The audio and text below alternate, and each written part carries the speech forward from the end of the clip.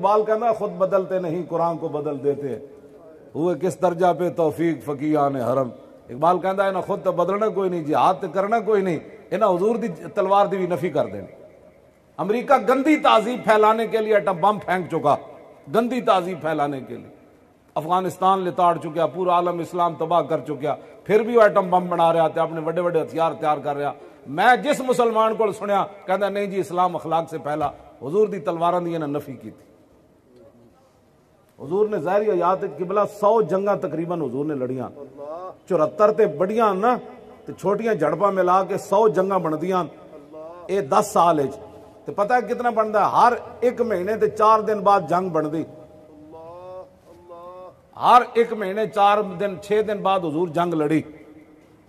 खुलो के अजीम दे मालिक तुम मैं कि अखलाक मुँह मोती गिरने कि थोड़ी मेरिया गलों ना लोग मन जाना है। मक्का भी फतेह होया तलवार हो, हाँ, अखलाक फतेह नहीं हो मक्का। मक्का हजूर जो तलवार लैके गए ना, फिर मक्के वाले तो फिर हज़रत साद बिन उबादा जो वेख्या ना सारे जालिम खड़े सन। हज़रत बिलाल कुटन आले, हज़रत हबैब के जिसम सुराख करने वाले हज़रत सुमैया के टुकड़े करने वाले रसूलुल्लाह पत्थर मारन वाले सिद्दीक अकबर के मुँह से जुतियाँ मारन वाले हज़रत खुबैब फांसी बन के जिसम कट्टन वाले और सारे जो खड़े ना तो हज़रत साद बिन उबादा के क्यादत इन्होंने झंडा दिता तो सब तो ज़्यादा साहब इन्हों की क्यादत सन। उन्होंने को बर्दाश्त ना होया।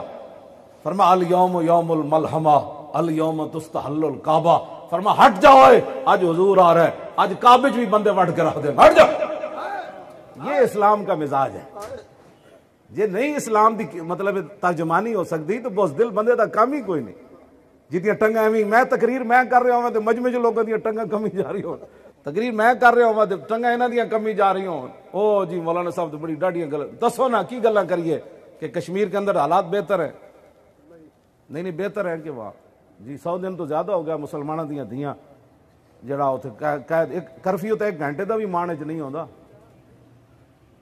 ਜੀ ਕਿਤਨਾ ਤੁਹਾਡੇ ਮੇਰੇ ਘਰਾਂ 'ਚ ਰੋਟੀ ਹੁੰਦੀ ਕਿ ਅਸੀਂ ਹਫ਼ਤੇ ਬਾਅਦ ਕਿਤਨਾ ਮਹੀਨਾ